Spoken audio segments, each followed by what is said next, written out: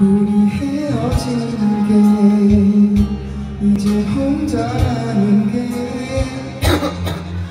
아직 실감이 안 나는데 난 어떡할까 너를 떠나보낼 준비해둘 걸 그래서 나랑 있으면 어떤 불편도 괜찮은 줄만 알았어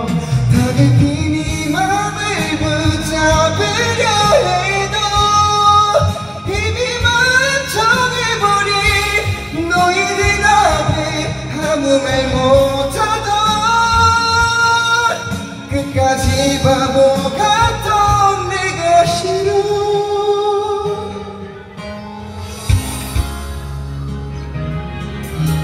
가만히 딱 가도 전화벨이 울리면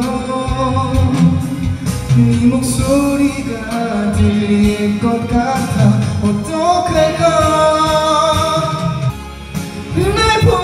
싫겠지만 어떻게든 널 붙잡고 싶은데 널 되돌릴 방법이 없어.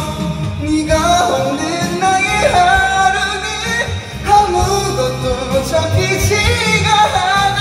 다 미안해. 보고 싶어.